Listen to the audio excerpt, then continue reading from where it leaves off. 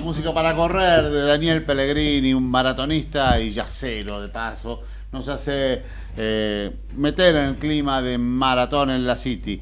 Che, impresionante. Ahora vamos a ir presentando a todos los invitados y todo eso, y a los columnistas y a lo que hacemos todos los días eh, en, el WhatsApp y nos vamos moviendo y que hacemos una vez cada tanto.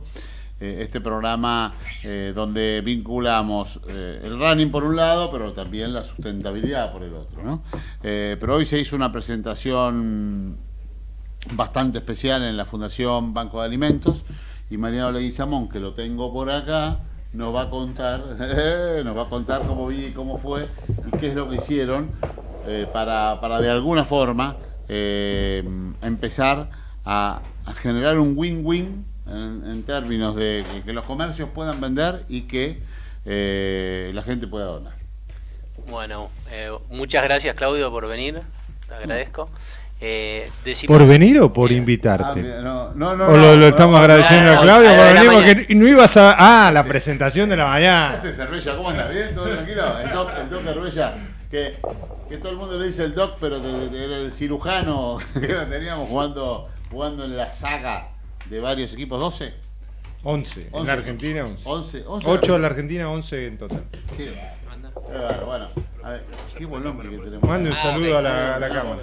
Ahí está, ahora sí. Dale. Vamos, ahora ¿Listo? sí, Mariano, dale. dale. Bueno, eh, hoy es el Día de la Solidaridad por la Madre Teresa de Calcuta y bueno, decidimos hoy lanzar Club Solidario, que es un club de beneficios, como cualquier eh, club de los que tienen los diarios o cualquiera de esos. Sí, la Nación Eh, o exactamente. 365, sí. que es a beneficio de organizaciones sociales. Arrancamos con Banco de Alimentos, eh, que es bien grande y bien transversal, ya que ayuda a más de mil ONGs.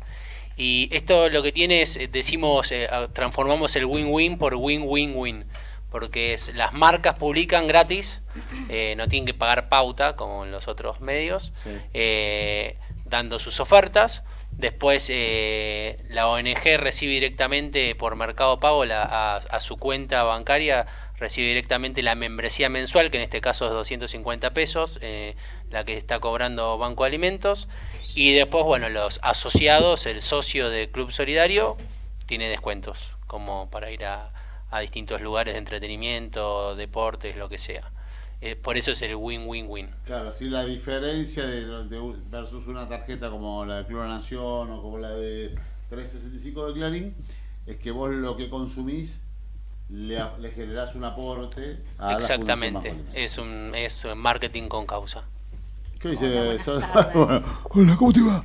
Parece mostaza merlo, ¿viste? Perdón, estoy con. Sí, no, ¿Hace cuánto, Sandrita? ¿Qué te pasó? Y hace un poquito más de dos semanas. Hay el dólar me pasó. Hay que, hay que dormir tapada, ¿viste? No, No, el dólar, Sesen- ¿no? 63 puntos se fue lo que hizo que me, me Qué- quedara difónica. qué Ya hace más de dos semanas. Qué bárbaro, ¿no? Que uno no lo ve hasta que no le pasa a algún amigo, ¿no? La, la situación, del, el- esta suba del dólar. Y es que ¿Qué al tener una importadora de equipamiento médico, eh, Juan recién me, me preguntaba sobre qué rubro y es sobre rehabilitación, equipamiento para rehabilitación. eh, de 46 a 63 en dos días es un, golpe muy fuerte, muy fuerte. Imagínense si hubiera estado llegando un barco al puerto para con un container con mercadería en nada, es un 30% más, 40% más eh, porque en aduana hay que pagar un dólar de 63 y eso no está previsto. Pero bueno, difícil. Y bueno, ¿y qué pasó? Justo vos, te- ¿cómo te agarró? ¿Te agarró el barco del No, medio o no, o no habías suerte, en- por no suerte, no sé.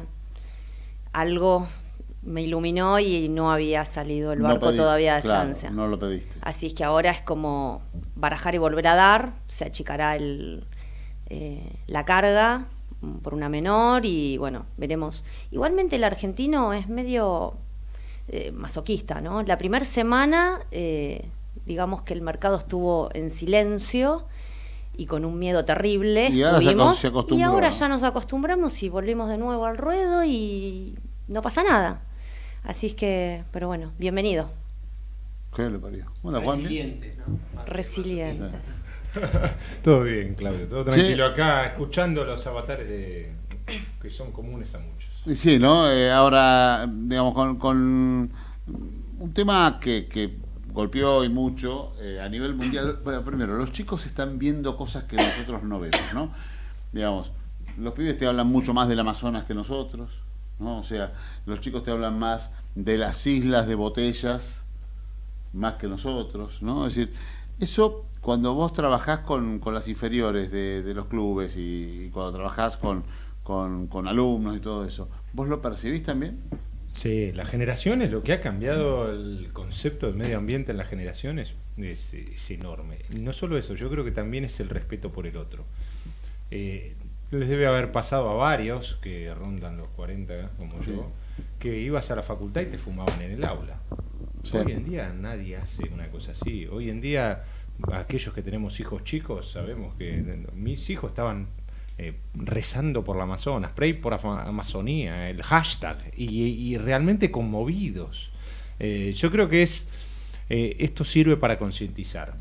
Toda tragedia de esta magnitud sirve para concientizar. Y, y creo que las consecuencias de esta tragedia, eh, por un lado existe lo ambiental, pero por el otro lado en la cabeza de los jóvenes y los niños de hoy eh, va a impactar muchísimo en el cuidado del medio ambiente y van a exigir políticos y dirigentes políticos que tengan estas conciencias y empresas que tengan estas conciencias y gente que tenga esta conciencia de mm, cuidado por el medio ambiente, de cuidado por el entorno, de cuidado por el prójimo, que por ahí nosotros cuando éramos chicos no, no la vivíamos así. Déjeme meterle un condimento político a esto. Claro, contá vos, Gus, dale, que- que- Gustavo que- Nogués, acá me metí de paracaídas. Eh, en el local nuestro hay un artículo, Contale a mi vieja acá. Oh, ah, claro, viste, sí, empecé de nuevo, dale. Diamond Gift, tenemos dos locales de regalería y decoración en Cariló, Eh, ya estamos en cuarta temporada, y uno de los productos que más salida tuvo, y sobre todo en los millennials y estratería en chicos de 8 o 9 años, que entraban al local a buscarlo, era un kit de bombillas de aluminio con limpiador para reemplazar los sorbetes plásticos. Sí. Y una chica de nueve años dio una clase de sustentabilidad en el medio local a todos los que estaban en, en el local en el momento. Eh, impresionante. Impresionante. Increíble. Déjeme meter una, una mirada política a esto. El otro día me lo dijeron y me, me pareció muy interesante. En términos generales, y sobre todo en la juventud, es cool decir que soy de izquierda. Nadie, ni uno, dice soy de derecha. Eh, la izquierda en general perdió la batalla de la plata. Marxismo, comunismo, ¿no? todos los sismos que se les ocurran, como decía eh, Pedro y Pablo allá, cuando- en la canción, eh, Cantilo Durietz. Y entonces salieron a buscar algunos puntos fuertes desde lo ideológico.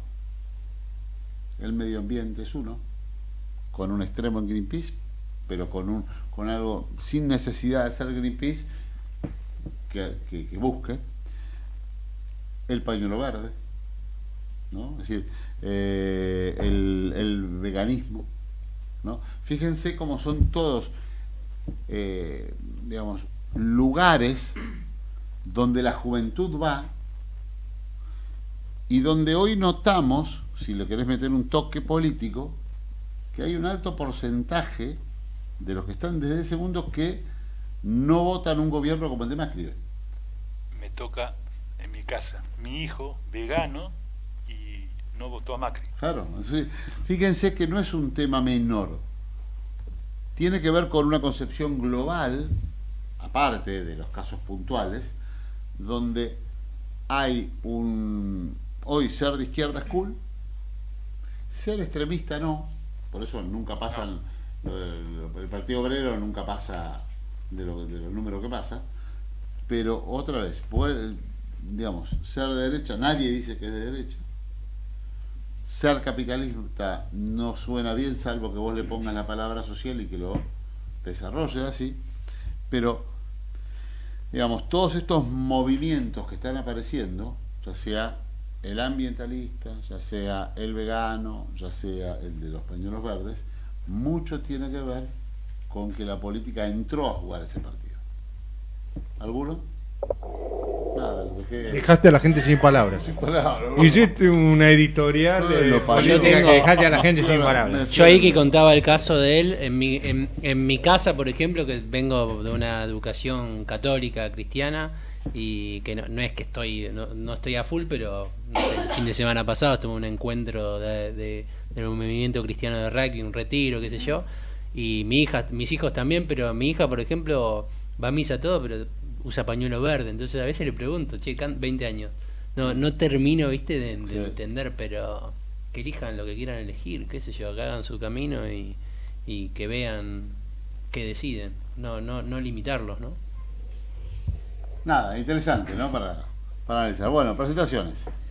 Presentaciones a, a- acá al amigo Sergio Ortiz, también colega de una empresa B que se llama Ciclo Rural, eh, que lo que hacen principalmente es, eh, están con el tema del reciclado, recolección de lo que es plásticos en el campo, para contárselo a mi mamá, y, y bueno, con otras cosas más que ahora él va a contar en detalle. Contame una cosa, Sergio. Hola, ¿qué tal? ¿Cómo estás? Hola. Eh, cuando hablamos de plástico en el campo, ¿tiene que ver con las silobolsas? ¿Tiene que ver con qué? Sí, principalmente silobolsa y bidones de agroquímicos, de fitosanitarios. Claro. Eh, ese es el.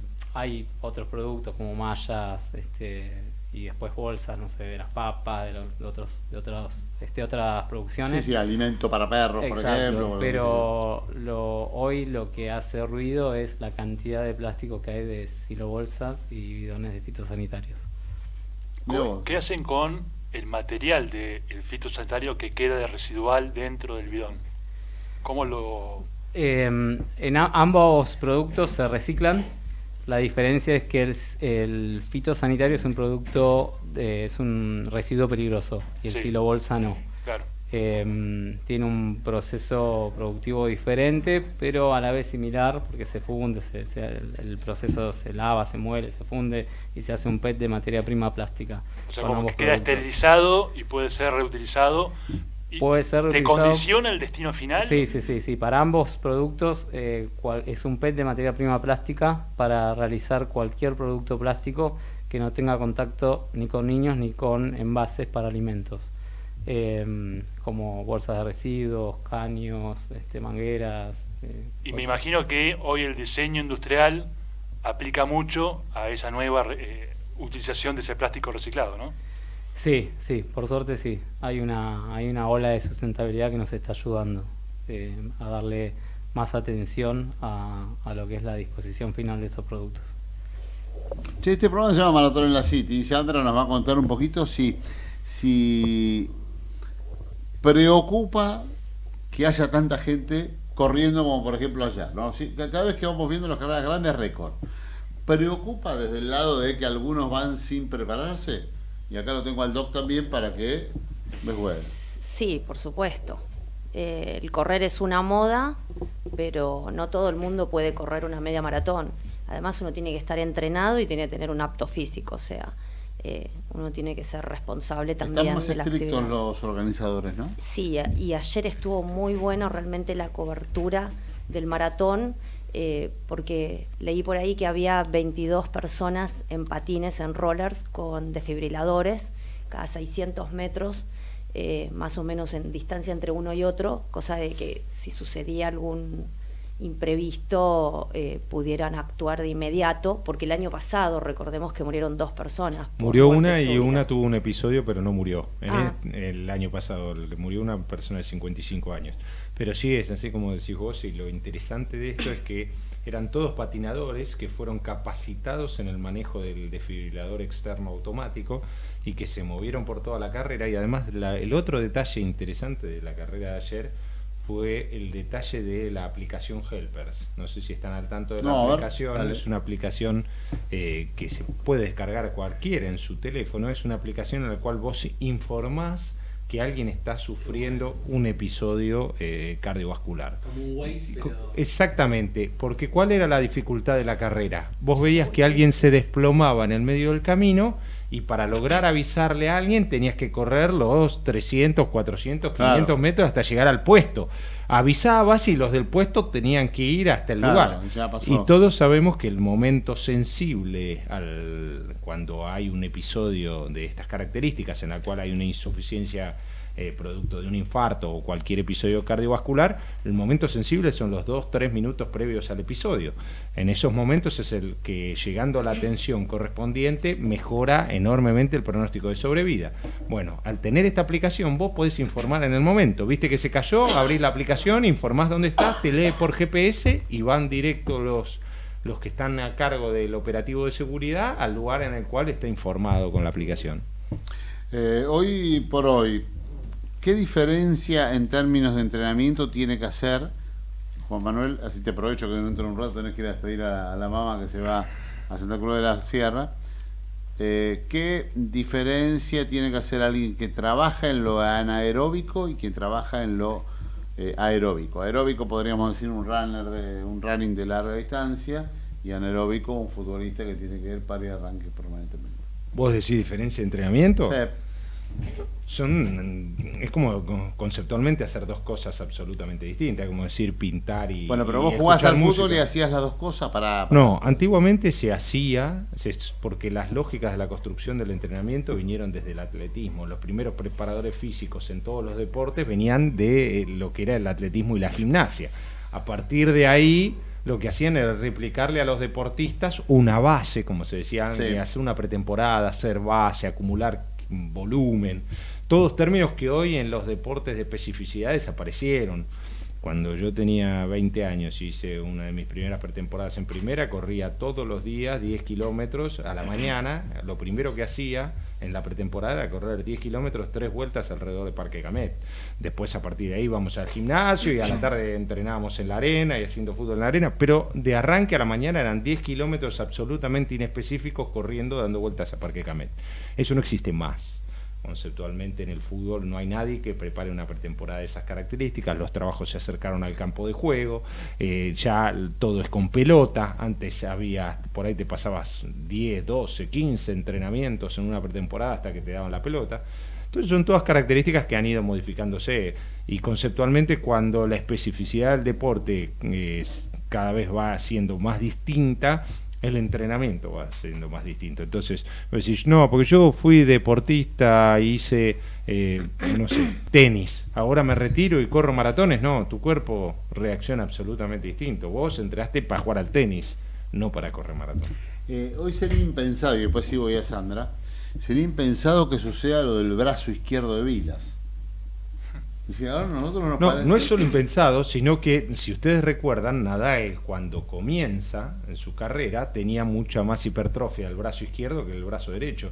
Y fíjate cómo a medida, si vos vas comparando las fotos, a medida que pasa el tiempo, cada vez va siendo más simétrico hasta la actualidad en la cual no ves asimetría. Hoy en día el deportista tiene que ser lo más simétrico posible. Claro, antes Vilas tenía, recuerda, ¿no? El brazo izquierdo enorme y el otro chiquitito y Nadal, ah, yo no me he dado cuenta.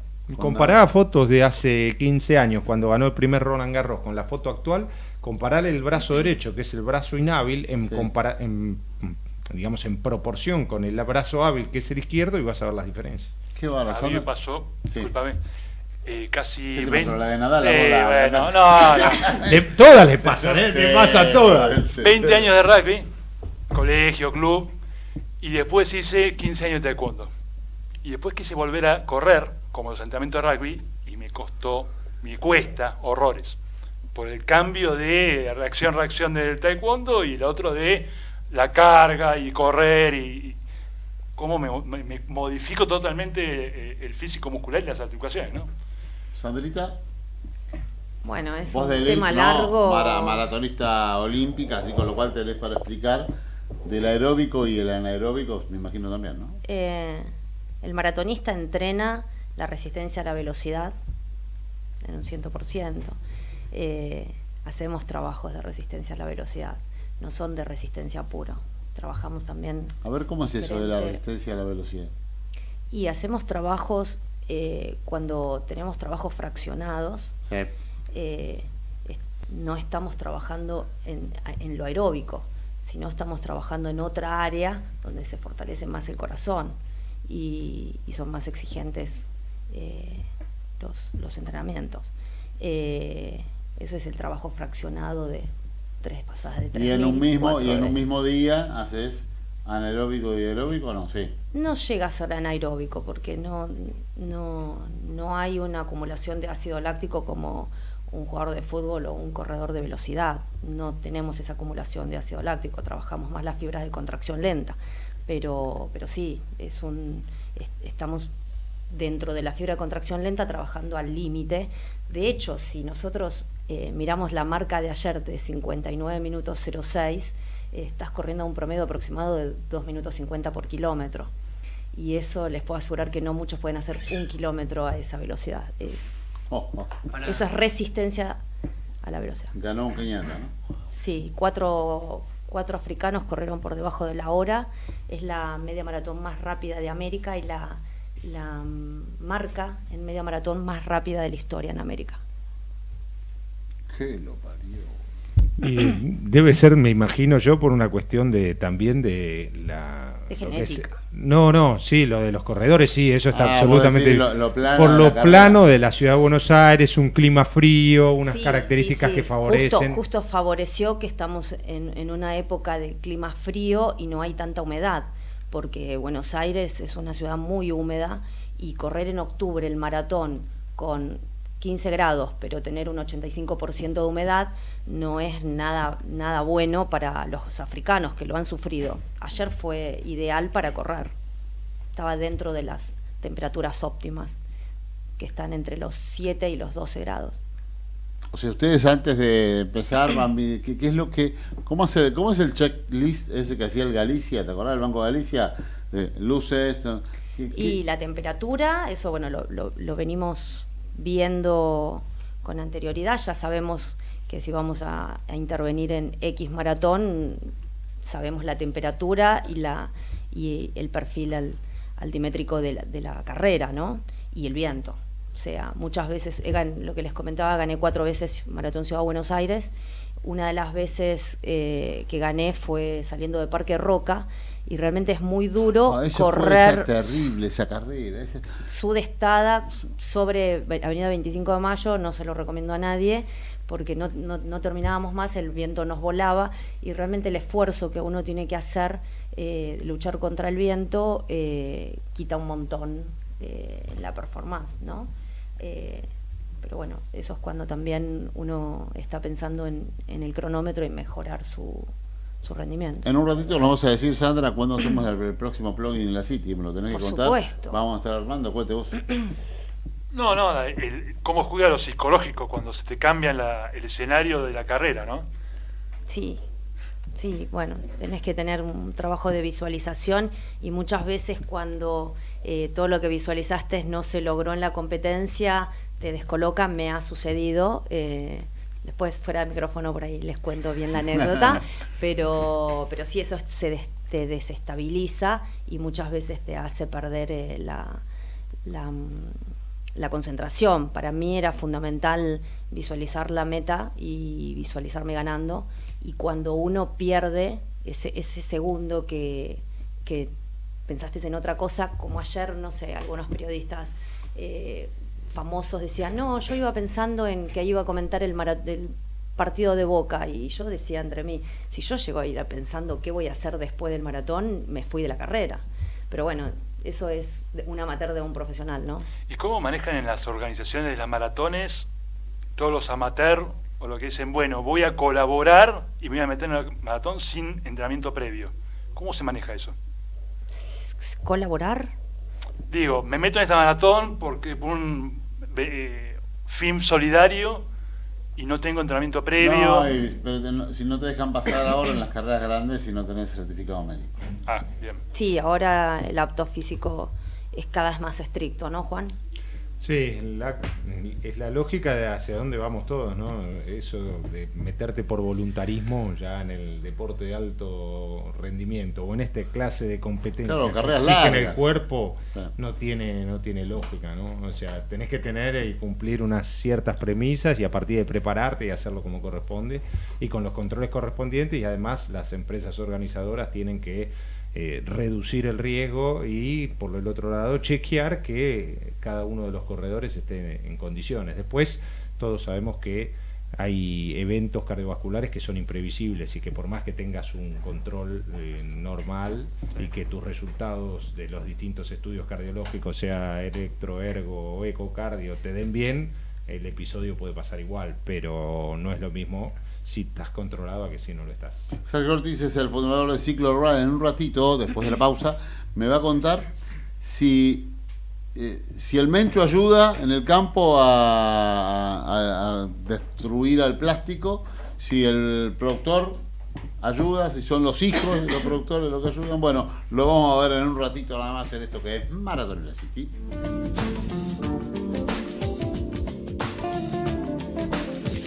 Desde Buenos Aires, transmite LRI 224, AM 1220, Ecomedios.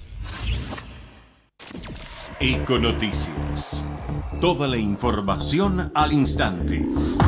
Muchas gracias. Alberto Fernández fue durísimo con los dirigentes del Fondo Monetario Internacional. Los hizo responsables del fracaso económico y de la fuga de capitales en un comunicado que se difundió esta tarde, luego de finalizado el encuentro entre Fernández y su equipo económico que se reunieron con la misión técnica del Fondo Monetario en el marco de la quinta revisión del acuerdo de stand-by, les remarcó que pese a que concuerda con los objetivos del fondo, por seguir sus recomendaciones, la economía nacional empeoró. Por eso los hizo responsables responsables de la catástrofe social que atraviesa el país y les adelantó que no respaldará medidas que no apunten al crecimiento económico. El documento fue difundido a la prensa hace unos minutos. Del encuentro participaron el director para el hemisferio occidental, Alejandro Werner, y también los técnicos Cardarelli y Trébora Leiné, mientras que el candidato del Frente de Todos lo acompañaron los economistas Guillermo Nielsen y Cecilia Todesco Boco, que ya había actuado con los interlocutores con la CUNSA y también Santiago Cafiero. De los objetivos que persigue el Fondo Monetario, ninguno fue alcanzado para la Argentina, sino que todo empeoró desde la celebración de aquel acuerdo. La economía cayó un 1,7%, la deuda pública subió 29 puntos porcentuales del Producto Bruto Interno, el desempleo aumentó al 10,1% y la pobreza creció a más del 32%, resaltó Alberto Fernández a través de un comunicado. En la Casa Rosada, Mario Negri uno de los diputados de la Unión Cívica Radical que participaron del encuentro de acción política presidida por el presidente Mauricio Macri esta tarde, se refirió a la actitud de los gobernadores justicialistas que decidieron concurrir a la Corte Suprema de Justicia para protestar por el reparto de la coparticipación federal que se verá afectado, según ellos, por las últimas decisiones de Mauricio Macri. Mario Negri les contestó. Bueno, el gobierno estuvo a la altura de lo que la emergencia demandaba. Y el peronismo lo sabe mejor que nadie, sabe. El peronismo sabe que las medidas tienen que ver con la emergencia provocada eh, por esa incertidumbre económica consecuencia de una devaluación que golpea los bolsillos y que va hacia la inflación. Entonces nos parece, nos parece, nos parece a nosotros, creemos que la responsabilidad es colectiva. No pueden Ahora devuélvanme 30.000 cuando durante tres años se llevaron 60, por decir, cuando le dieron desde el gobierno lo que no le habían dado en 12 años, donde venían a golpear la puerta y se iban con una anchoa. En Buenos Aires, un informe de Antonio Deramo. Banco Provincia tiene los mejores beneficios para vos y tu familia. Disfruta descuentos en espectáculos, restaurantes, supermercados, turismo y mucho más. Conocelos en bancoprovincia.com.ar. Cuando el juego se vuelve una necesidad, deja de ser un juego. Entre todos, podemos prevenir la ludopatía. Pedí ayuda llamando al 0800-444-4000. Lotería de la Provincia de Buenos Aires. Buenos Aires Provincia. Entre todos, podemos más. La mejor información pasó por Econoticias. Ecomedios.com. Desde Buenos Aires, transmite LRI 224, AM 1220, Ecomedios Llegó MGN Salud, medicina privada. MGN Salud es más servicio, más beneficios y excelente atención con los mejores médicos. Llama a MGN Salud al 4629-3351 y aprovecha tus aportes. Recordá, 4629-3351. Con MGN Salud todo es más fácil. Superintendencia de Servicios de Salud, www.sssalud.gov.ar 0800 222 72583. RENEM número 117924. La información que pasa por ECO está en ecoya.com.ar. Conectate con nosotros. Eco arroba ecomedios.com.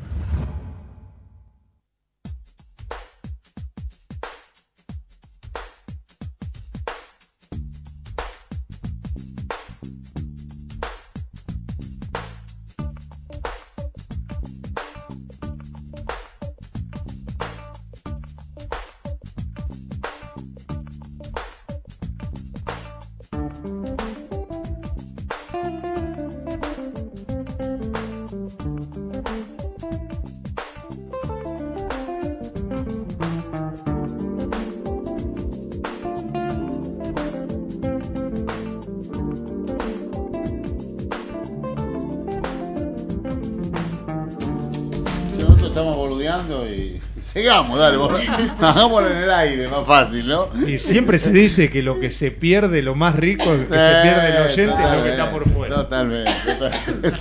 Bueno, seguimos acá.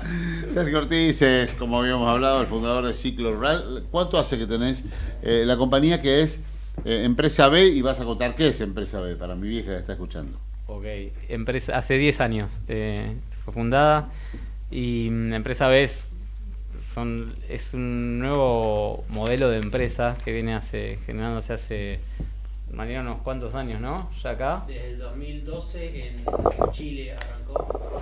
Bueno, algún día usemos el micrófono. 2012 en Chile. 2012. 2012 en Chile. Nosotros certificamos hace dos años y es un modelo de empresa que, que, mm, hace hincapié en el impacto ambiental, social y económico. O sea, Sí. eh, claramente dice que como empresa está bien ganar plata, pero también garantizar el bienestar ambiental y social.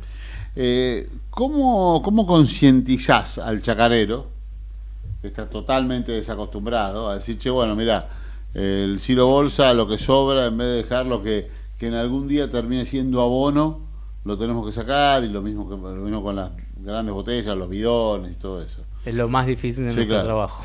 Sí. Eh, por suerte, como te decía recién, hay una ola de sustentabilidad y de nuevas generaciones que nos están acompañando. Que los chicos empujan, ¿no? Exacto, empujan mucho. Eh, la verdad es que a veces digo, no está mal, nos pasa a, a nosotros, yo estoy también rondando a los 40, no teníamos eh, ecología, medio ambiente en el colegio y venimos con, con otro chip que hoy mis sobrinos no los tienen. Gracias a Dios, por Claro. suerte hay una evolución en el ser humano con respecto al medio ambiente. Eso se nota y se ve claro. Eh, y es difícil al productor, me pasa con, con amigos que tienen campo y el material lo, se, lo, lo, mm, se lo dan a, a los empleados para que se hagan se ahorran un sueldo, o sea, porque hay, hay una informalidad este, en Argentina con respecto al, al reciclado. Pero de a poquito se, se va mostrando lo que, lo que hacemos, eh, poniendo en realidad en el ¿Cómo, caso- hacen? ¿Cómo, ¿Cómo concientizan? Vos vas a, una, vas a un campo, entra, abrí la tranquera, ¿y qué haces? retiramos el material, Sí. garantizándole al productor la disposición final de ese material, explicándole que eso va a una planta que está auditada y que tiene procesos sustentables, porque esto eh, tiene un proceso con el tema del agua, que tiene que estar filtrada, o sea, tiene, tiene un tratamiento especial que no cualquier reciclador lo puede, este, lo puede tratar. Entonces, en principio eso, haciendo la diferencia de hincapié en esta informalidad que hay, este, garantizándoles que eso no va a, a- a terminar en una jarra de jugo o en un, en un juguete para un nene. Puntualmente eso, después eh, capacitando al personal y contándoles que la persona que está retirando el material lo está ayudando en el sentido de que a todos los, los recolectores informales los capacitamos para que puedan entrar en el sistema formal. Claro, ¿con quién competís vos? ¿Competís con el cartonero del campo, digamos? Exacto, sí, sí, sí, con el cartonero este, informal, claro, el plastiquero, Sí, le decimos nosotros sí. informal, que lo invitamos siempre a, a sumarse al proyecto. Cuesta también a veces al principio, pero después se dan cuenta que terminan ganando más porque no, no están pagando el material este, afuera, eh, nosotros los capacitamos en seguridad e higiene, manipulación del material, inclusive con, con la cuestión financiera impositiva para que se puedan este, inscribir en el monotributo, nos puedan hacer una factura. Y ellos ganan, ayúdame, ¿cómo cómo es Sí. la cadena de valor ahí? El 90% de los ingresos de ciclo rural se los lleva el recolector. Eh, nosotros hacemos... O sea, vos le pedís a la gente del campo la- los bidones Lo- gratis. exacto, exacto, sí, sí, con la garantía de la certificación en la disposición final, que eso Ah, no cualquiera lo Que tiene. eso después lo, lo tiene el, El productor, exacto. ¿Y para qué le sirve eso a él? Muchas veces cuando el productor en algunos negocios de exportación se hace, Pide crédito. exacto, exacto, mucha, y se hace mucho hincapié en lo que es en materia de sustentabilidad, eh, más que nada en, en el continente europeo, este, piden las buenas prácticas y en eso está y hacen foco en qué hacen con los residuos del, del campo. Así que desde, desde ese lugar este, le damos una garantía eh, extraordinaria de alguna manera y después lo que hacemos no lo pagamos el material, pero ese valor que tiene el- el- en el mercado el plástico, lo que hacemos es donar ese valor a instituciones de la zona. Eh, o sea, se abre una cuenta corriente a favor de, de- de la institución y se le pregunta al productor a dónde la quiere Ah, donar. está, que lo elegís, vos- ¿Lo elegís vos o lo No, elige él? lo elige el productor. Lo elige. Lo elige el productor. O sea, la condición para nosotros eh, que un cliente sea nuestro es que claramente el, el valor de ese material sea donado. Porque el objeto social del productor no es el residuo.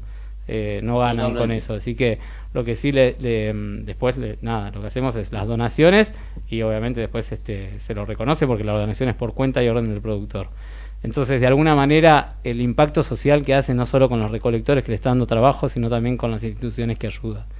Eso es en materia eh, social y en materia ambiental, el impacto de garantizar que ese material tiene un fin sustentable. ¿Vos cómo ganas plata? Digamos, ese es un- una brecha entre lo que donás y lo que... Sí, hacemos, hacemos magia con ese 10% que nos queda, que en realidad es menos 5%, porque el 5% va a donación, y la verdad es que a nosotros nos ayudan los kilos. Eh, no, no, nosotros necesitamos más recién ahora, estamos en un punto, después de 10 años, en un punto de inflexión. Haciendo las cosas bien cuesta, pero de a poquito eh, se ven resultados. Ahí tu competencia es el informal, principalmente, o hay otra compañía, un ciclo rural como ustedes. No, no, no los hay, invitamos, ojalá haya 10 más, nosotros hoy tenemos un 10%, o sea, recolectamos un millón eh, y medio de toneladas, un millón quinientos mil kilos, que en realidad eh, no es nada, es el 10%. Para esta campaña 2020 están pronosticadas venderse 900 mil bolsas, o sea, serían 90 millones de, de- de kilos de, de plástico que va a haber en el país. Eh, hay corporaciones que por ahí algunas recicladoras que hacen lo mismo, bienvenidos, o sea, no, no los tomamos como competidores, pero ojalá haya más. El, el- nuestro, nuestro competidor es, sí, es el sector informal. Este, hoy no hay una reglamentación a nivel nacional que ex- le exija al productor hacer las cosas como debe ser. ¿No se puede rellenar, digamos, algunos bidones? No, Viste que eso está empezando a, No, a no, no. jugar más en, en el tema de, de- de los supermercados. Vos ya ves que en el shampoo y todo eso, Unilever te está haciendo una campaña. No, no porque es un, un material que tiene un producto tóxico, es, es, un eh, es tóxico el, el- el producto, ¿no? O sea, cuando Sí. ya está usado, así que tiene, un- tiene que tener un tratamiento especial. Con respecto a los bidones, eh, la provincia que más avanzada está en reglamentación es Buenos Aires, con, la, mm, con la, el armado de los CAT, que son los centros de almacenamiento transitorios. Lo que hoy tratamos de impulsar con la provincia de Buenos Aires es que haya muchos más CAT. Como yo digo, siempre tendría que haber una recicladora en cada municipio, eh, porque también ayudamos a las pymes que hoy están empezando, metiéndose en el negocio reciclado, porque estaría bárbaro. O sea, eso impacta en las economías regionales. Nosotros en los centros de acopios todos los años le llevamos a los intendentes todo el, el monto en dinero que se mueve en la región y es el 90% de nuestra facturación en cada acopio. Así que la verdad que se mueve no solo desde agencias de publicidad para promocionar el servicio, eh, los transportes, los fletes cortos, los fletes largos, los recolectores, todas los, los- los- las personas que trabajan con los recolectores, las familias. Y ahora hay un proyecto muy lindo que estamos este, tratando de cerrar con el gobierno de Trenquelauquen para hacer mantas eh, y que se pueda reutilizar el material para la confección de otros productos, como mochilas, bolsas, eh, materas, no sé, cualquier otro producto plástico. Claramente que eso es un, es un pequeño porcentaje del total de esos 90 millones que haber, pero todo ayuda. Nos encantaría que en cada municipio haya una cooperativa de mujeres que tra mujeres o hombres, o sea, que trabajen con el material, buscando diseñadores, costureros. Este, estamos con, con una linda campaña con eso. ¿Qué tiene que hacer un emprendedor que te está escuchando para sumarse? Llamarnos y si en cualquier lugar del país, nosotros tenemos 8 acopios, nos encantaría tener 100. Eh, ganas de, de, yo siempre digo, tanto sea recolector, emprendedor, las ganas de, de, de trabajar y emprender. Pero tiene que invertir un capital inicial. No, no, no, no, no. La puesta en marcha la, la ponemos nosotros. Eh, al principio, todo recolector nuevo nos llama y empezamos nosotros a promocionar, a trabajar con las empresas de, Silo Bolsa para, para eh, promocionar el servicio en, en, los clientes de ellos, que también nos ayudan, las empresas que, las, las productoras de, de, de Silo Bolsa. Y nada, después es, es cuestión de hacer prueba y error. Sí, claramente, lo que exigimos es para que las cosas salgan bien, que se sometan a la capacitación, que estén formalizados, pero eso... Es una especie no de nada. franquicia donde hay que transmitir el know-how. El know-how ya lo, lo, lo, lo, ponemos y nada, o sea, encantados de que se sumen cada vez más recolectores. ¿Y dónde encuentran ustedes el cuello de botella? O sea, porque ¿ustedes tienen capacidad para más, para procesar más? Porque decís, solo procesamos el 10% de lo que se vende. Otro tanto, y, y intuís que lo que lo procesan o que lo reciclan alguna de las cooperativas, sí, alguna recicladora. ¿Cuánto queda sin reciclar y, y por qué no se accede a eso? Eh, debe haber un 40% que no es cifra menor eh, en el marco de la informalidad. O sea que es eh, hoy reciclar es no es difícil, lo puedes hacer en un galpón, puedes tirar el agua a la calle que esa contamina y haces el PET de materia prima. De esos hay un montón. Lo que pasa que, bueno, nada, eso es, es, el marco informal que hoy tenemos en, en nuestro país. Eh, y después un 10% que no se llega por la extensión que tiene nuestro país. Por ejemplo, no sé, un, claro ejemplo, la otra vez me llamó un productor de Santiago del Estero, o Quibilí, no me acuerdo en qué zona, pero claro, ahí no tenemos acopio, no hay, no hay recicladoras, no hay, entonces eh, pasa esto, es decir, bueno, ¿qué hace? Y el tipo, bueno, lo quema, lo entierra, porque no tiene quien se lo retire.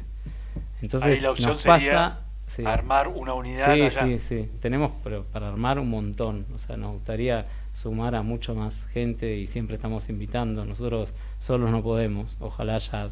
¿Hay compañías cinco, diez, afuera que hacen algo así?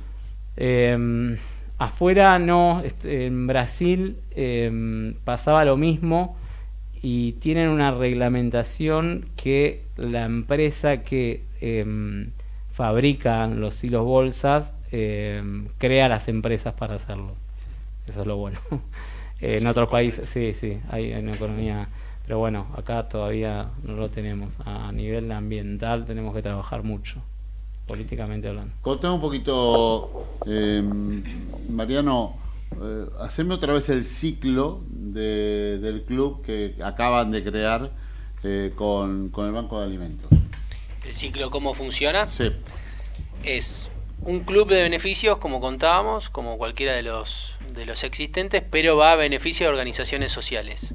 Eh, la web es solidario.club y, como decíamos, ganan tres partes. Gana de la ONG, que en este caso es Banco de Alimentos, que recibe la membresía, la cuota mensual del socio, 250 pesos, que va directamente a su cuenta por Mercado Pago.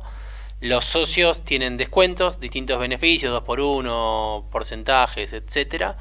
Y las empresas lo que tienen, las marcas, que puede ser de gran, no sé, Temple Bar o Buenos Aires Bakery, o marcas grandes, o Mondeliz, que estamos viendo también que se está sumando, a emprendedores, porque lo que genera es un cupón alfanumérico, no sé, ABC123, que lo mostrás en tu celular cuando vas al, al local que vas a consumir y le decís, hola, tengo un descuento de Club Solidario, eh, lo ven, sí, lo validan y les da el descuento y no interfiere en la facturación de las marcas, que eso es importante, ¿no?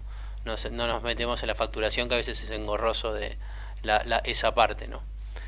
Y el proyecto de ustedes, eh, digamos, digamos, de lo que recibe la ONG les toca una parte. Exactamente, el, modelo de negocios es ese. ¿Y hoy hay algún modelo de esas características afuera o no? Afuera no exactamente así, no. Así de, de esta manera exactamente no. Hay, hay pero no, no, no esta. Y la idea de esto está armada la plataforma para que sea mundial, ¿no? La, la, la- la próximo paso es Uruguay-Brasil. O por ejemplo hoy nos hablaban de un local en, en España y lo puedo adherir, sí, puede estar en España y, y no sé, querés donar a bomberos, porque esto acordate que va a ser para muchas ONGs, no es solo para Banco Alimentos, arrancamos con Banco Alimentos, pero mañana va a decir, bueno, soy estoy en España y dono para Bomberos Voluntarios Vicente López, porque soy de Vicente López. Bueno, o estoy en España, o estoy en Uruguay, estoy en Brasil, o estoy en la China y dono para Banco Alimentos porque sé que está la cosa complicada y quiero dar, como hoy que dan 143 mil platos de comida por día a Banco Alimentos, ¿no? Sandra y Juan, eh, ¿el deporte está tomando conciencia del tema medio ambiente? O sea, eh, vos en el mundo del atletismo y vos en el mundo del fútbol.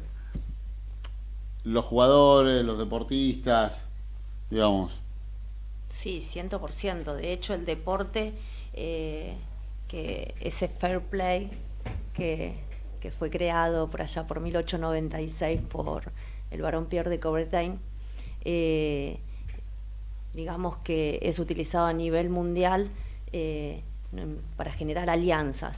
Y una de las, de las principales para la sustentabilidad es el deporte, o sea, la forma de comunicarlo a través del deporte. En los Juegos Olímpicos ya vimos que las medallas otorgadas el, el año pasado acá en los Juegos Olímpicos para la Juventud eran de material reciclado y, y había estaciones de reciclaje eh, eh, concientizando y promoviendo el, el reciclaje. Así es que sí, por supuesto. El, el deporte en general y el running a través del plugin. Sí. De hecho, por aquí tengo una info muy interesante. Eh, ayer fue muy grato para mí estar en Unicenter, pasar por un local de anteojos que se llama Bon Age Wear sí. y había un- una pileta llena de botellas. Y dije, ¿qué es esto? Botellas vacías. Entonces entré al local a preguntar. Resulta que el creador es un joven de 28 años que salió a correr por la, por la ribera de, de Vicente López, San Isidro, y empezó a ver que había un montón de botellas eh, donde había bajado la marea y dijo, tengo que hacer algo con esto. Entonces, ¿qué hizo? eh, comenzó un estudio de, de mercado y de en- pensar qué puedo hacer con esas botellas. No solo hacer el plugin, sino esto que siempre nos preguntamos, ¿no? ¿Cómo en, termina? en lo circular, ¿a dónde termina? Entonces, ¿qué creó? Una, una empresa que fabrica marcos De anteojos. de anteojos. Y genial, y el lema es que las gafas nos, nos parecían un símbolo para dar un mensaje a la gente de que vean las cosas de otra manera y así, así concientizar sobre esta problemática. Y la verdad es que es algo muy bueno porque un montón de empresas relacionadas a la oftalmología ahora están acudiendo busquémoslo a para ellos. una nota, Martu, busquémoslo para una Eh, nota. Malcolm. Rendler, la verdad Sí. que estaría buenísimo invitarlo para la próxima. Eh, lo que se hace es eh, triturar el plástico y transformarlo en filamentos que luego lo ingresan a una impresora 3D y van fabricando los marcos. E inclusive en el marco de cada uno, en el relieve, comenta de qué está hecho ese, ese, si es de una botella de una marca famosa de bebidas Qué gaseosas. sí. Y la verdad que es algo que me, me puso muy contenta porque dije, bueno, a través de alguien que hace plugin, y es lo que nosotros fomentamos aquí en Maratonela City, eh, se ha logrado algo muy importante y eso es nuestro, es de, de Argentina. Sí, podemos trabajar Se, vi- con- ¿no? se vienen los marcos de Silo Bolsa, ¿no? Eh, ah, no está nada mal. Estaba pensando. Vale, el fútbol lejos, ¿no? No, lejos no. Uh, la wow. semana pasada en el predio de AFA y con los dirigentes de AFA eh, estuvo el CEO de la parte de sustentabilidad de FIFA, que vino acá a la Argentina, Arieki, a Sí. dar una charla sobre sustentabilidad y deporte.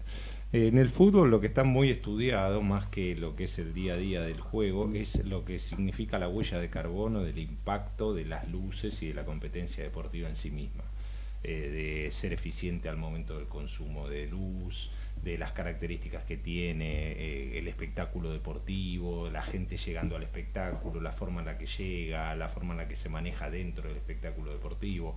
hay muchas líneas que está trabajando, principalmente la FIFA, y a partir de esta, de esta corriente, ¿no? O sea, no es que lo tiene olvidado. Sí está más enfocado al espectáculo que al deporte eh, cuanto a la concientización. Claro, vos sabés que no me acuerdo qué club eh, hizo un trabajo diciendo de que, eh, eh, digamos, no dejamos huella de carbono. Eh, talleres. Talleres. talleres. en Brasil. Talleres. Talleres de Córdoba en Brasil. Ah, sí, tenés Fue razón. en los vestuarios. Bueno, comenzó a promover desde ahí, ¿no? Sí. Eh, la limpieza, de dejarlo mejor de lo que lo recibimos y, y de reciclar el plástico. Eso es algo que hacemos ahí, en, en Atlas, desde, hace- también. desde siempre. Lo de talleres de ayer, y me meto en un tema que no... No, muy- ¿por qué? Muy. No, no, no, pero no hablo del resultado. Hablo de una acción que nos quedó todos la duda en todo el mundo de los marketineros, estamos todos acá estallados, no sabemos qué pasó. Yo creo que no hay ninguna duda, para mí está hecho adrede, salió Sí. la foto en todos lados. Sí, ahí lo que pasó es lo siguiente. Varios jugadores de talleres estaban sin la publicidad, ¿no? En la camiseta. Que eso es algo bastante común en muchos. eh, estoy buscando cómo fue la, cómo siguió la historia. Eh, Lo que pasó es que cambió la publicidad a talleres. El partido pasado había jugado con la camiseta o- oficial, la principal, y tenía la publicidad del banco. Y en esta segunda partido de visitante tuvo que jugar con la camiseta alternativa y en la camiseta alternativa, en una camiseta lisa, entonces resaltaba todavía más la publicidad. Algunas camisetas salieron con la publicidad y otras salieron sin la publicidad. Con el escudo sí, con la marca de la camiseta sí, pero no Sa- con la publicidad. Salvo el arquero que tenía el viejo escudo versus el nuevo escudo de las demás camisetas. Ahora, ¿qué pasó? La lectura es que Oh. nos estamos quedando sin sponsor. Eh, no, es que, es que el utilero. Les pagaron la mitad de las camisetas. Claro, es que el utilero se equivocó. bla, bla, bla. Entonces empezaron ahí en el, en el Twitter de, en una baldosa que suele hacer jodas de estas. Y de pronto aparece un tweet diciendo: Encontrar el código ICBC, te invitamos a participar eh, de una nueva trivia para vivir mucho más talleres. Armar la secuencia con cuatro números de los dorsales de las camisetas que no tenían el logo de CBC en la histórica victoria al Azul en el Estadio Monumental. Participá y ganá un premio espectacular, envía tu respuesta indicando a sorteos Club Talleres. Más cerca de Talleres, eh, es el hashtag. Entonces acá no, nos queda la duda si fue una acción adrede o no. ¿no? Capaz fue tipo Noblex, ¿no? Esas campañas así a propósito, Esa armadas. Puede ser, puede ser, y si fue un error, la resolvieron muy bien. A mí fue esa la opción. Sí, ¿no? Que Sí. fue un error y. Me acuerda del chorizo wireless. Este es un. Contalo, contalo, contalo porque está buenísimo. Resulta que El hombre que era el gerente de marketing de. eh, vos tenés que rajarte, te quedan en dos minutos, ¿no? Sí. Eh, era el gerente de marketing de Cabaña Argentina. ¿Y qué pasó? Sacamos una innovación tecnológica que rompía con la tradición del chorizo en gancho, con un tema promotológico, eh, que daba para nosotros, el análisis que hicimos fue que íbamos a dar un valor agregado a la comercialización de un producto alimenticio envasado al vacío desde la planta frigorífica. La respuesta, y, y antes de eso, instruimos a todo el canal de comercialización de que vender chorizos y morcillas en gancho era malo y había que empezar a hacerlo envasado al vacío. Cuando llega el producto en góndola, el prop, a las mismas personas que las capacitamos, empezaron a decir, no, che, esto tiene una falla de elaboración, no trae el hilo. El mismo consumidor empezó a decir, no, no, este chorizo está mal hecho porque no tiene el hilo. Y en- viene el comercial a marketing y dice, che, solucioname este quilombo, perdón por la palabra, pero era así. Y tuvimos salidas, armar una campaña de la nada para revertir cómo se percibía el producto en góndola. Bueno, de ahí nació el chorizo y la morcilla wireless. ¿Cómo conectas tu chorizo a tu momento de ocio y de placer? Salió de un error.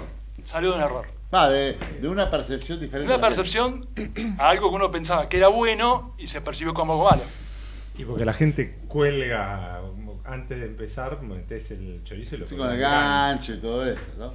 Eh, eh, Juan, antes de rajarte, así que entonces, en el fútbol vamos a notar mucho más en el espectáculo que en el deporte en sí, ¿no? Por ahora se está trabajando más en el espectáculo. No cabe duda que hay eh, incursiones individuales como la que mencionaron con talleres en las cuales eh, las instituciones por motus propio toman esos caminos, pero institucionalizado, digamos, desde los núcleos madres, desde las eh, asociaciones y federaciones, lo que más está trabajando o reflexionándose es sobre el impacto ambiental del espectáculo deportivo.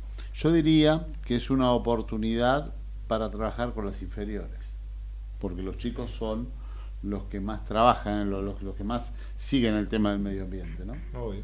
Sí, sí, es una muy buena apreciación. Me parece como que si vas a hacer cosas con los inferiores, mm, Va a tener más tracción. y sin duda, y aparte las empresas van a poder acompañar ese proceso con el sponsoreo, un sponsoreo que le va a salir más barato que ir a un equipo de primera, ¿no? con lo cual empieza a ser todo bastante más amigable. El único problema es si vos pones en alguno de los clubes grandes, soy empresa B, la letra B tiene un sinónimo que, salvo para lo de Boca, es medio complicado, ¿no? O sea, Tenés que obviarlo. que, la- que la pases bien. Y mirá qué color No, es la no B. podía faltar. No ¿Jugaste, podía ¿Jugaste la B o no? ¿Jugaste la B? Sí, ¿no? Yo jugué 11 años en primera y 3 años en Nacional B. Los dos primeros ascendí, en el tercero cuando no ascendí Chicago, me retiré. con- Chicago, Quilmes y Ferro. Y Ferro. Y en Ferro cuando no ascendiste ahí te Me retiraste. retiré. Bien. Juan, muchas gracias, Gracias. que la pasemos bien, damos una vueltita y volvemos a esto que es Maratón en la City.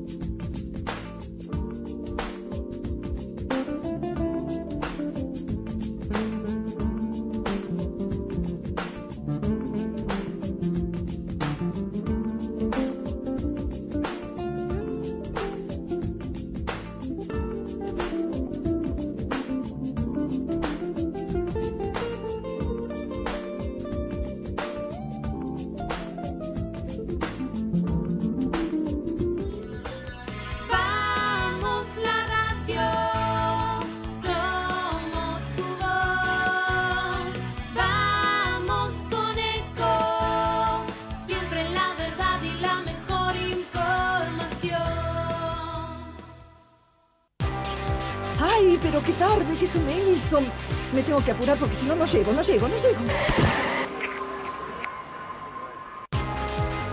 No. ¿Pero seguro? ¿Qué problema? Eh, bueno, vamos a encontrar una solución. Bancame ahí que en dos minutos estoy con vos.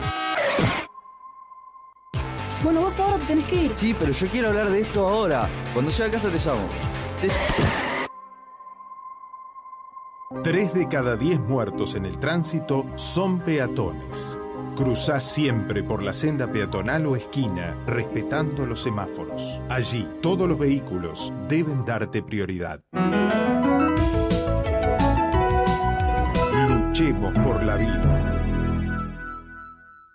Descarga gratis de tu celular la aplicación Ecomedios. Podés escucharnos en vivo, informarte con las últimas noticias y entrevistas en audio y video. Búscala y bajate la aplicación Ecomedios. Podés vernos en vivo en ecohd.com.ar. Conectate con nosotros. Twitter arroba Ecomedios 1220.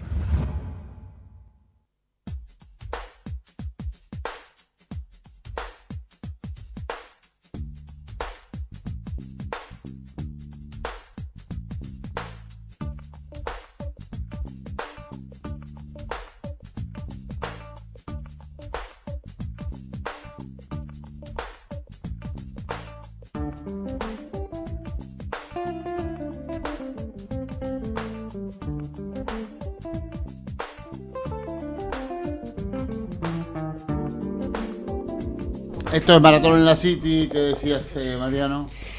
No, estaba hablando de lo que está haciendo Ciclo Rural con Reforestar, que es otra empresa B, y amigos de la Patagonia, que justamente tema de reforestación, ahora que estamos con, a full con el tema Amazonas, lamentablemente. Así contaba Sergio un poco la experiencia.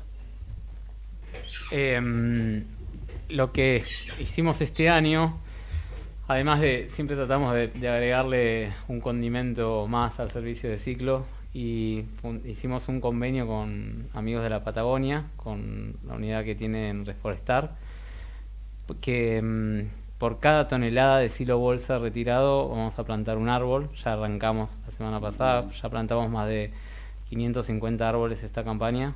em, y bueno, nada, vamos con todo para, para esta nueva recolección. Así que bueno, ahora con todo lo que está pasando nos sentimos súper útiles eh, en nada, todas estas acciones que estamos generando. Qué loco, ¿no? Lo, lo, lo del Amazonas, cómo ha pegado en Brasil también, y cómo le impacta a Bolivia, ¿no? Totalmente, y a, y a toda la región, va, y al mundo, ¿no? Es Pues se está expandiendo bastante. Es el pulmón. ¿Qué decías de Nepal? Eh, un Everett sin plástico. Nepal prohibió los plásticos de un solo uso en la región del Everett para luchar contra la creciente contaminación en la montaña. La prohibición incluye objetos de plástico como bolsas, sorbetes y botellas de menos de 300 micras. Y en el 2019 el Departamento de Turismo nepalí emitió 378 permisos de escalada con récord de cumbre. Pero lo, lo curioso de esto es que para hacer cumbre o para ser un excursionista tenés que pagar 4 mil dólares para, para participar. Y eh, te devuelven esos 4 mil dólares si juntás 8 kilogramos de material reciclable inorgánico. Si no juntaste los 8 kilogramos, no te devuelven los 4 mil dólares. Es como cuando vas a una exposición de vino y te cobran 200 mangos la, la copa y después cuando la devolvés te que- 200 mangos. exacto. Y durante la, Si esta no, no temporada... entrar, si no, no podés entrar a Nepal. Tal cual. Y, de- y en esta temporada que culminó en, el, en, en mayo, eh, un equipo encargado de la limpieza del Everest recuperó cerca de 11 toneladas de desperdicios, igualmente. Evidentemente hay gente que igual continúa tirando desperdicios inorgánicos, y cuatro cadáveres que habían quedado abandonados en Nepal. ¿Cuatro qué? Cuatro cadáveres, y Cadáveres. 11 kilogramos de... 11 toneladas de desperdicios inorgánicos. ¿Qué lo parió? La verdad es que yo casualmente, uy, mira, no me la tomé ayer, eh, me voy a tomar hoy. Tengo una, una cervecita Ironman que compré en Dinamarca, eh, que me pareció divertida la, la botella, y tiene ese sistema PAN, que yo les había contado apenas vine. En Dinamarca tienen un sistema muy interesante, que se llama PANT. Eh, las botellas tienen tanto de vidrio como de plástico, tienen PANT 1, PANT, PANT A, PANT B, PANT C. ¿no? Que no sé qué, cuál es el más importante de los tres, tal vez el más grande es el A, no sé. Y cada PANT tiene un precio, digamos, eh, que te lo, te lo devuelven en un supermercado, poner en Aldi, en la cadena Aldi, que es una de las grandes de allá, como si fuera día por ciento. Y, y entonces, claro, tal vez cualquiera de nosotros no vamos a estar con una botella caminando y todo, llevarla a Aldi por dos monedas, pero crearon en los mm, puestos, eh, eh, perdón, en los cestos de basura de la calle, una especie de manija para que vos la dejes ahí y alguien en situación de calle, por ejemplo, o recicladores, se la lleven, ¿no? Y fue muy curioso porque yo estaba tomando una Fanta, yo qué sé que también era Pant, eh, algo así.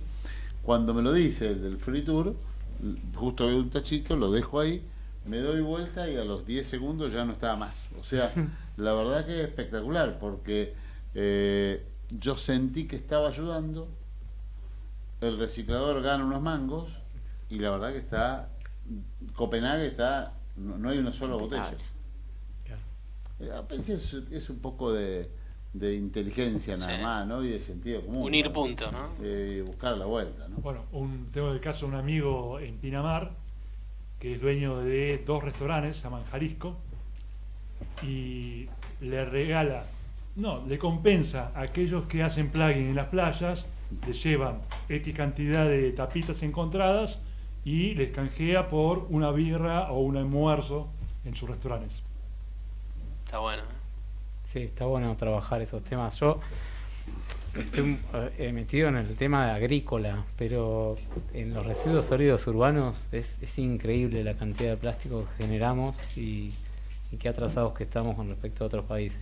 Ojalá que, en estos en estos nuevos años, ahora que estamos con, con un cambio, este, cambio o no, pero digo, en esta nueva gestión que, que se venga, le den prioridad a estos temas. Me parece que es fundamental. De hecho, el martes en, en congresos hay una reunión de para está se está queriendo promover la ley del plástico de un solo uso.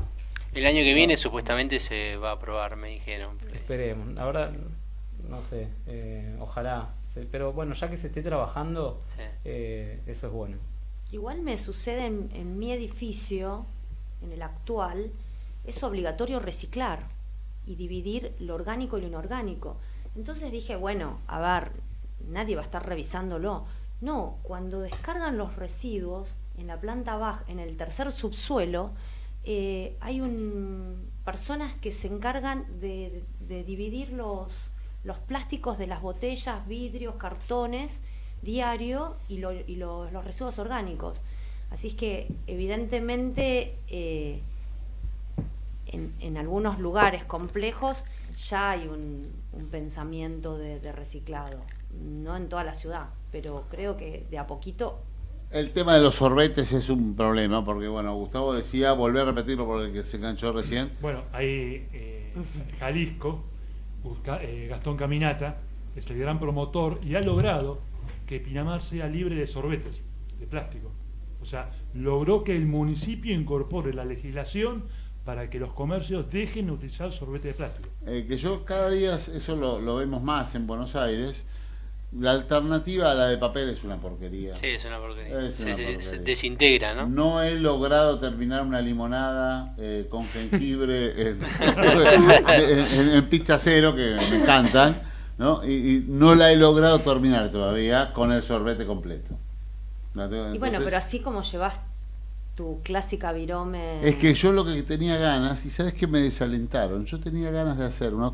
¿Vos tenés la que son las de acero? Claro, acero inoxidable. Bueno, yo tenía ganas de hacer unas y que le puedas eh, imprimir tu nombre.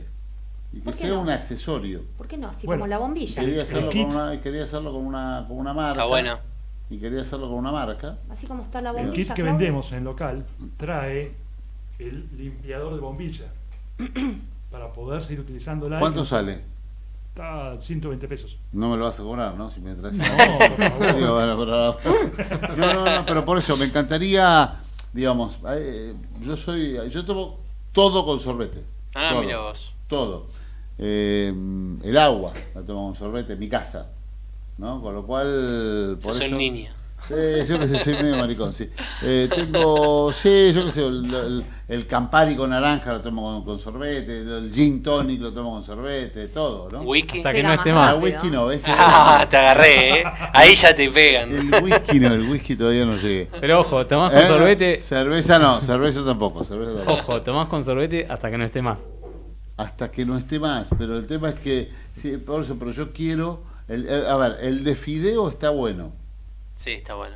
¿Lo probaron el de No. fideo o no? ¿Eh? ¿Los fideos, los cañitos?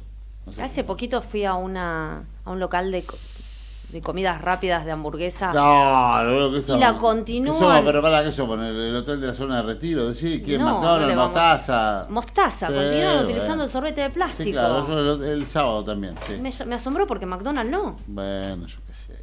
¿Y qué, y qué usa McDonald's? ¿Nada? No, ya no, No, se usa. En McDonald's que la, hay, la ley ¿eh? está, eh, pero tenés que pedir. O sea, no te, lo, no te lo ofrecen, lo tenés que pedir y está. Ah, yo se lo pedí a- a- en Mostaza igual, ¿eh? Yo Sí, se sí. lo tenés No, que salió pedir. la ley a nivel, o sea, esto de Pinamar, a nivel nacional, Sí. hoy no se puede dar como si fuera una servilleta, pero sí lo, lo, Como la sal. lo siguen comercializando. Como la sal, sí, claro. Exacto, como la sal. No, pero eh, McDonald's ya no tiene más el, el dispenser No, ese, ¿no? no, no. Lo tenés que pedir. Lo tenés que pedir. Bueno, Es un paso. Suma, es un paso. Sí, sí. ¿Sabías que lanzaron un documental en DirecTV eh, apoyando la sustentabilidad? Ahora el- este fin de semana lanzaron y presentaron cuatro proyectos muy muy importantes a nivel latinoamericano. eh, que en realidad salieron de un... De un Latinoamérica Verde. Exacto. A ver, contame. No, no, pues, eh, contá vos. Para eso el, te, el te de- damos el documental de DirecTV surgió como parte de Latinoamérica Verde, que es un concurso que dinamiza la economía verde al exigir las iniciativas regionales. Y bueno, uno de ellos es el proyecto Galápagos eh, 2050, que trata de eh, forestar Galápagos y ya han logrado eh, plantar más de 10 pl- 10.000 plantas de 78 especies nativas y endémicas. Otro de los proyectos es Atando Cabos en el sur de la Patagonia de Chile, eh, en la que se encarga de reciclar el material plástico de la industria pesquera y salmonera. Eh, y el otro es el de PETS de Toluca. El otro día fue interesantísimo ver eh, cómo Francis Malman se lo agarró con la industria salmonera en el sur, ¿no? ¿Lo viste? Sí, sí, lo vi. Está impresionante. ¿eh? Más, empezó con los menúes veganos. Francis Sí. Ah, mirá vos. Qué bueno eh, que esté pasando todo esto. Sí, la verdad que él es como un jugador muy importante a nivel mundial. eh, salió con los tapones de punta, ¿no? Bueno, una puntita para darle continuidad al tema de la reforestación. Ya hace varios años se están haciendo varios programas de ubicación georreferencial de, plan- de árboles plantados o protegidos y venderle eso a las empresas para que neutralicen huella de carbono. Sí. De hecho, hace varios años, en la consultora esta, Diamond Sustenta, que fundamos con mi esposa, eh, hacíamos el regalo empresarial de árboles re- georreferenciados. En vez de regalar Claro. un objeto de plástico que por ahí termina tirado, Claro. no. Te haces padrino de un árbol georreferenciado en una determinada reserva. Buenísimo, buenísimo. Sí, te, em, sí lo de- por eso lo de reforestar eh, nos parecía, lo pensamos en regalar. El año pasado decíamos, pero cuando salió digo, bueno, qué mejor que ya plantado, ¿no? O sea, Claro, el tema es eh, quién le da el cuidado, Exacto, quién lo exacto. protege. Con reforestar lo que pasa es esto, después se hace un seguimiento a, esa plantación y eso está bueno. Nosotros con Atlas en un momento después nos aburrimos. y, ¿viste? A mí, yo invento cosas que después como nadie las sigue, que nada, la cargo yo en la mochila.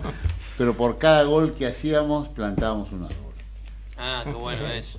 ¿Ves que No éramos un Como equipo los goleador. potreros, como los potreros.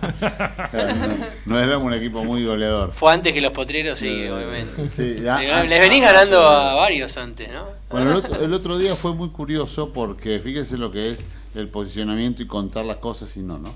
Cuando jugamos con, contra River y cuando jugamos contra Independiente por la Copa Argentina con Atlas, eh, que es el equipo en el cual yo trabajo, eh, hicimos una acción muy interesante que fue venderle el nombre de las camisetas a hinchas de Independiente o hinchas de River para que se vieran en el partido, pero la camiseta de Atlas, ¿no? Eh, nos salió muy bien, digamos, bancamos la camiseta, todo bárbaro. Almagro en el partido con Boca, el que le ganó a Boca por la Copa Argentina, se ve que hizo lo mismo, porque los nombres atrás eran, yo qué sé, familia tal, como, la- como los bancos de la iglesia, digamos, ¿no? Pero no lo comunicaron, entonces no sabías qué era. O sea, una buena acción sin comunicación estás en un problema. Totalmente. Es que no tenían a Claudio de Estef. No, digo, pero no, digo, pero, pero vos fíjate cómo se nota cuando vos comunicás y cuando no comunicás, Claro, porque la claro. acción era la misma. Y, y fue tan y fue muy relevante porque Almagro le ganó a Boca, con lo cual eh, realmente Claro. hubiera sido algo impactante, pero a veces vos haces algo y no, y no tenés No una buena comunicación, ¿viste? Bueno, para eso están las agencias, ¿no? Sí. Para eso están las agencias. Y los clientes que te dejen también, ¿no? Eh, también pasa un poco. Eh, hoy, en, en qué zonas están trabajando, Sergio? En todo el país. Nosotros tenemos ocho acopios a nivel nacional. Eh, estamos muy fuertes en Buenos Aires, en Azul, en, en América, provincia de Buenos Aires, eh, Deró, Balcarce, eh, Azul y ¿Cuál es el criterio de elegir? eh, No, gente que tenga ganas de trabajar, Ah. de, de laburar, que nos arma- llame y arma- que- armás como, como especie de franquicia, digamos? Exacto, sí, sí, le damos, ponemos el know-how, el know-how de- del, negocio, de lo, lo que es ciclo, eh, con todos los beneficios que, que tiene y nada, ganas de, de trabajar y las hay, aquel que nos llama y dice, che, mirá, escuché o, o vi, tengo ganas de, de hacerlo. O ¿Podés, también man- podés vamos... mandar información de eso si tenés información para mandar? Eh, sí, sí, sí, sí, sí, sí. Eh, eh, Yo tengo gente en Areco que podría estar muy interesada. Buenísimo, sí, sí, sí, se puede. Vienen con bastante reconocimiento el año pasado, ganaron premio ACDE, ¿no? Sí, ganamos También, bueno, están entre las mejores empresas B del mundo y, y ahora este año revista Forbes, ah, él está entre los 30. Entre los 30 de 30. Sí. Los tenés. Muy bueno. Muy Así bueno. que vi- viene ahí, hace mucho remando, pero bien. La verdad que sí, sí, sí, contentos. Che, ya casi estamos yéndonos. No, se nos pasó el día. Eh, ¿Cuándo empieza la, la aplicación? Hoy a la noche tiene que estar subida. Se llama Se llama Solida- BDA, la- ahora con Banco Alimentos se llama eh, BDA Solidario.club. Bien. ¿Y qué haces ahí? Con eso vos te, bajás la aplicación. Te bajás la aplicación, eh, la pagás por la tarjeta de crédito con cualquier aplicación y empezás a disfrutar de los descuentos 250 pesos por mes. por mes para y tenés un, un tope de 2.500 pesos de descuento Sí, exactamente. en distintos lugares. Por en distintos lugares y la idea es ir, seguir sumando, porque todavía no lo habíamos largado oficialmente, seguir sumando más marcas y más empresas para, para que den descuentos. ¿no? Sandrita, bueno, estás tranquila de que lo tenés barco viniendo con, con Compex, así que... eh, y ahora, digamos, como ya medio minuto queda, pero eh, ahora que ya sabes que el dólar va a estar- más o menos va a estar estable, ¿qué va a pasar? Eh, estamos tratando de ampliarnos y de diversificar. Eh, entonces, de esa manera, con productos relacionados a la rehabilitación, continuar creciendo. Igual también tengo Paraguay y Uruguay como eh, países fuertes, así es que en estos casos en que tenemos movimientos fuertes de este lado, vamos a, hacia Paraguay y Uruguay a fortalecernos. Eh, pero igual como todas las crisis, esta creo que es la tercera en nueve años Sí. de estos vaivenes, así es que es una más y, y va a pasar pronto. Sergio, bueno, un gran placer haber compartido el, el programa y tenés la página para que Gracias. la gente la pueda escuchar y después lo vamos a mandar a nuestras Sí, redes. en www.ciclorural con S. Con ese, ¿por qué le pusiste con ese? Eh, ya estaba Registrado. ya estaba registrado con C. Pero no, es un, es un juego del siglo, ciclo. Bueno, este, hay que hacer algo marketinero para dar. Tal cual, ahí lo, lo tenemos, lo tenemos a Mariano que está, nada, está, está, está empezando a, a comunicar todo lo que estos 9, 10 años estamos trabajando, así que muy bien, gracias Mariano. Uf. Bueno, próximo próximo lunes venís o no? Sí, me engancho. ¿Ahora sí? Sí, yo me engancho. Bueno, ahora no tenemos jamón, pero igual, te queremos igual. ¿eh? Te queremos igual. Esto fue eh, barato, ya iba así polémica. Maratón en la City, eh, aquí compartiendo en esto que es. eh, ¿Se me escapó Gerardo? Ah, bueno, se nos fue el productor, sigamos charlando, dale. Sigamos. Dame, conté un poquito lo de bola. FC Lo de. Bola, FC Bola, otra empresa B también amiga, es usa el formato one for one, uno por uno, que por cada pelota que venden, después tiene otros productos, por cada pelota de fútbol que venden, otra la, la donan a, a distintas instituciones. Esa es una, una estrategia que creó un argentino con zapatillas llamadas Sí, Toms. Eh, que yo tengo, casualmente me compré dos pares de Toms que las uso. Y lo más curioso es que para que vean el concepto de one for one, ¿no? O sea, vos compras una y ellos donan otra, ¿no? Empezaron con alpargatas. Y, y lo curioso eh, es que, para que vean el, el grado de impacto y lo bien que les va, yo mis dos pares de Toms no me los compré acá en el Alto Palermo, en La Salada, en el Dubai Mall, un local de Toms. O sea, ¿saben lo que lo- la guita que sale alquilar un local en el Dubai Mall? Toms tenía un local ahí y ahí compré. La verdad que me, que me pareció impresionante. ¿no? Estaba más barato el dólar ahí. Ni me acuerdo. Es decir, Esto fue Maratón en la City. Ahora con alarmas Comahue protege tu negocio por 480 pesos por mes. Contrata el mejor servicio de alarmas monitoreadas para tu negocio al precio más bajo garantizado. Cuidamos tu negocio, tu esfuerzo y tu bolsillo. En serio, elegí Comahue. En Provincia ART hace más de 22 años que acompañamos a aquellas personas y empresas que buscan transformarse brindándoles seguridad y tranquilidad. Esa es nuestra meta, protegerlas de todos. Para conocer más, ingresá en www.provinciaart.com.ar o llamanos al 0800 333 1278. Provincia ART, con el respaldo de Grupo Provincia. Superintendencia de Seguros de la Nación. Para consultas y reclamos llame al 0800-666-8400 www.argentina.gov.ar barra SSN. Número de inscripción 0621. Con los créditos con garantía de Agilis, podés usar tu vehículo o inmueble para acceder a préstamos de hasta 5 millones de pesos, con una de las tasas más bajas y la posibilidad de pagarlo hasta en 10 años. Solicitarlo es muy fácil. Ingresa a www.agilis.com.ar para tener un crédito preaprobado. Agilis, el crédito que te conviene. Con Prisma Medios de Pago, tu negocio crece. Crece porque tenemos una solución para cada tipo de comercio. Crece porque podés vender con todas las tarjetas de crédito y débito. Visa, Mastercard, Cabal y más de 60 medios de pago adheridos. Crece porque vendés más y mejor. Súmate vos también en prismamediosdepago.com y hace crecer tu negocio. Prisma Medios de Pago, número uno en Argentina en soluciones para comercios. El desayuno de la mañana, el recreo de los chicos, un almuerzo con energía, ese break en el trabajo, la merienda después del cole, la cena todos juntos y algo rico antes de dormir. Arcor, alimentando cada momento del día.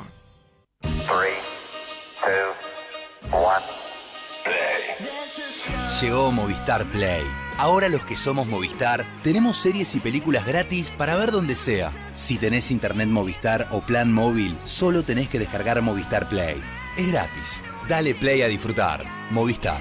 Elegí todo. Válido del 1 del 3 al 31 del 8 del 2019. Más info en movistar.com.ar barra Movistar Play. Hola, soy Emme, el asistente virtual de Banco Macro, que responde por el chat al usuario que me preguntó si podía pasarle la clave de la caja fuerte. Consulte. La respuesta es sí.